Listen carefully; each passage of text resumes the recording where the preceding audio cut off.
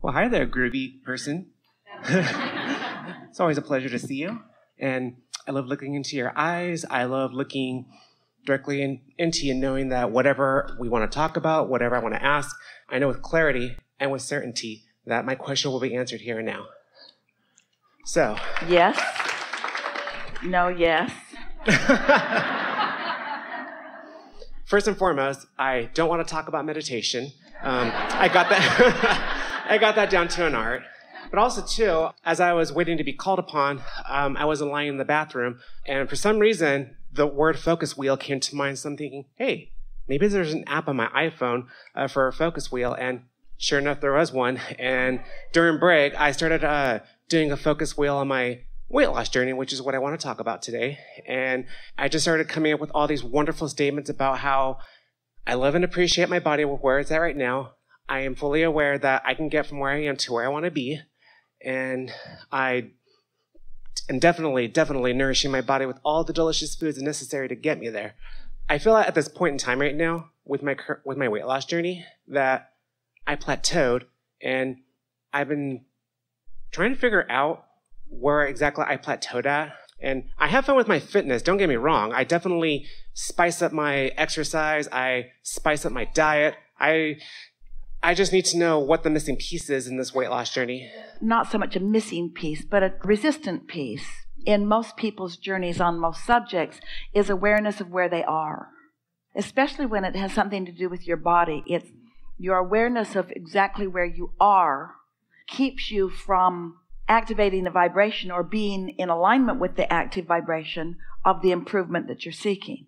This is a conversation that we have often and we really like to have it that what is is what keeps you from becoming what you prefer even more than what is. The more that you are doing that is making you aware of where you are, that's adding resistance to the mix that is unnecessary let me see if I can translate this in a way that I'm understanding it. Forgive me, um, I am autistic, so sometimes one thing is said and I hear it differently. Um, it kind of sounds like what you're saying is, is that the, um, the current path I'm taking right now to my weight loss journey, basically I'm taking action that is basically telling me. Not about the action that you're taking. We think everything that you're doing is really good. And we like how you keep being inspired to something that's a little different. But it's awareness of where you are that slows the journey to where you prefer to be. It's sort of the thing that trips all humans up. You are so aware of where you are. If you could let your mind drift more to where you want to be rather than be so aware of where you are on all subjects, whether it's a relationship or a financial condition or a physical condition, on every subject, it's your awareness of where you are that prevents you from moving more rapidly or at all toward what you want. You know how we keep talking about the vibrational reality, and we always encourage Esther to gesture this away. It's over here. But we want to say right here, right now, that current reality, as far as your vibrational reality is concerned, is the past. So every time you're looking at what is, you're looking in the wrong direction. Every time you're looking at what is, you are preventing yourself from moving forward. It'll sort of be like having a windshield in the floor of your automobile, and as you drive down the road, you're just looking there. Yeah. Not helpful. Not that I've been using it, but um, as soon as I get home, I'm throwing my scale away. That's one of the things that we're talking about, or any conversations. It's not easy to be human and not be drawn into endless conversations about the rightness and the wrongness of activities and food and supplements and so forth. And all those piles, all those piles, all those piles, all those piles, all those piles. And if you could just realize that you've established with your inner being what you want and your inner being knows exactly how to get you there. And if you just sort of float in a more loose, free form way, especially now, now that you've got the hang of this, that bit by bit your inner being will call you to where you want to be. And the most important thing is that that would be way fun. Mm-hmm. New inspiration is really fun. Well, I will say this it's never fun to sift and sort through the data that's being offered out there um, in regards to the right diet to eat, the right in regards to, to anything. In regards to anything, basically, yeah. It just scrambles energy. Let's make another strong statement that you are eliciting. scrambled energy is the only thing that bugs you. The only thing that bothers you, the only thing that is at the basis of negative emotion is energy in contradiction. And it's not the world in contradiction, it's the energy within you that might be influenced by others, but it's your energy that's in contradiction. So, can you see how what is is in contradiction to what's becoming? Yeah. What is is in contradiction to what's becoming. And yet I've been trained to face reality. Well, cut it out.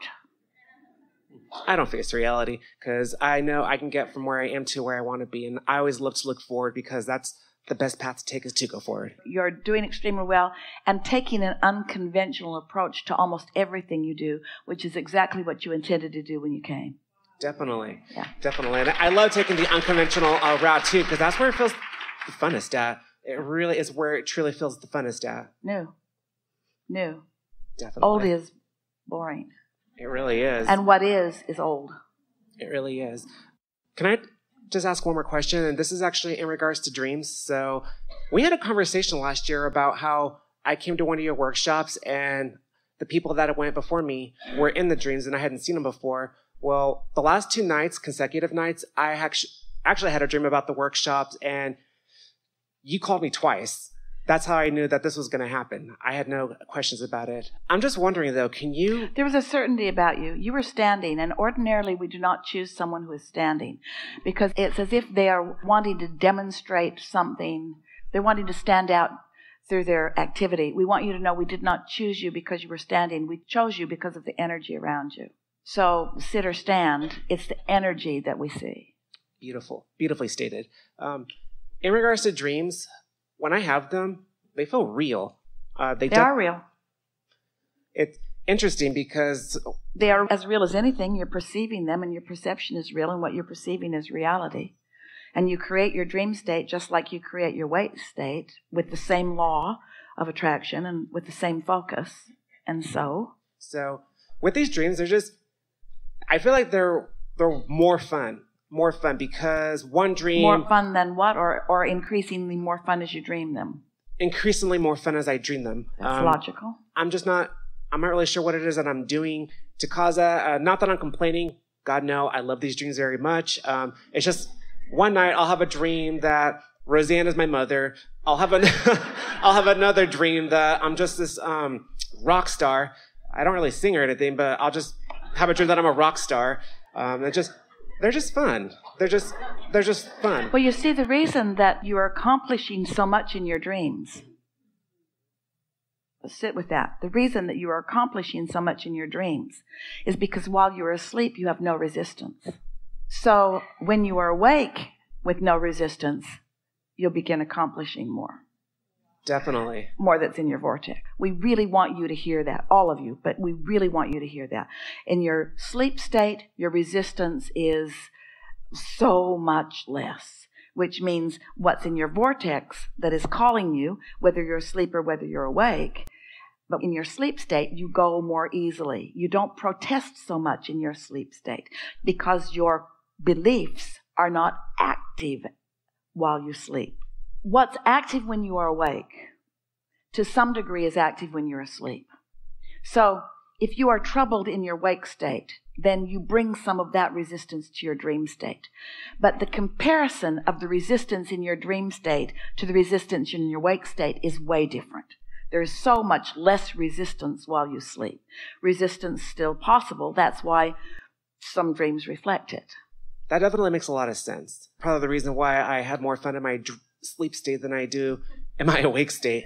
Well, you're not as hard on yourself and you don't cling so much to what is.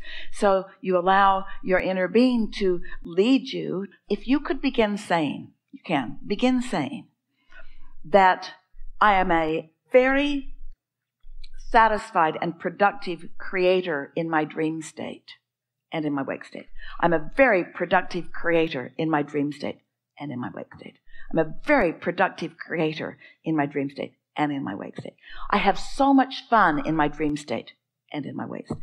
Then what happens is you let the freer attitude out into your wake state by acknowledging it. Whatever you give your attention to, you practice. So here's something else. In your wake state, as you recall your dreams, you practice the same free flow that is happening in your dream state in your wake state. On the segment of refreshment just now, Esther was resting, sitting, and she was thinking about just allowing her mind to go where it wanted to go without guiding it. Sort of in the attitude of the friend who was wanting to, in meditation, just let it be. So she was sitting with that sort of quieted mind, and her mind sort of created almost a dream. It was not like a dream, not a dream in the sense that she wasn't asleep, but she went to her Utah house and she went in the summertime and she enjoyed the beauty of the grounds. They are beautiful. And some of you were there. Not very many of you because it's a house, not a meeting room. But 80 of you came. And a chef that she knows well came and brought food for you. And she let him choose it all. And when she walked into the room where it was, it was beautiful. And she saw you looking at it and liking it. And then you all went into the largest room in the house. And you sat in these chairs that she does not have yet. But she knows exactly what they look like. and together we began an intimate discussion on a special subject that you knew about before you came. And she felt the satisfaction of the accomplishment of the conversation as you were all waving goodbye on your way down the driveway. Then she heard the bell. Time to go. So, was the dream for the purpose of creating something or for the pleasure? Was it what's already in her vortex? And because she's in such a state of allowing, that as she just sat in a quieted mind, her inner being gave her the picture of something that is already created? And was it for the purpose of creating it, or was it for the pleasure of experiencing it? This is what we're asking you. Maybe both, but it's more for the pleasure of the experience of it. If you could let your dreams and your thoughts about what you do be for the ulterior motive of the pleasure of the moment rather than of the accomplishment of something that isn't yet, you'd have it. You'd have it. Now, it's our expectation that that's going to lead to something because it was so good, Esther is going to make that happen. It was delicious in her mouth. Everything about it she liked. She now wants that in a way. She did not want it that much before she saw it. You see? And so, isn't that a nice way to create? Isn't it nice to realize that you have treasures in your vortex that you've put there piece by piece that have been cooperative components with one another, that have gathered other cooperative components, that have set into motion things that as you discover them, you will enjoy them? Isn't that what creation is all about, you see? So it isn't about standing over here where something isn't and moving over there where something is. It's standing in the vibrational frequency of all that you are, letting yourself discover or understand. She even placed her crew, she wants to call them friends, crew, family, in the five guest rooms. That's your room. That's your room. That's your room that's your room. And in between seminars, when the people go back to their hotel, we will party. Yeah. we'll eat good food. We'll play good music. She got carried away. Her vision was way more expansive than the five minutes in which it took place. An altered state of consciousness for the purpose of giving her the pleasure of the idea. You see what we're getting at? Toward what end? Doesn't matter. So, if we can convince you that your vortex is filled with movies and visions and activities and surprises and delights, and you've created every one of them, and if you could be satisfied with the existence of them and eager for your awareness of them, then everything that's in your vibrational reality, in your vortex, your reality, can come out and play with you where you are.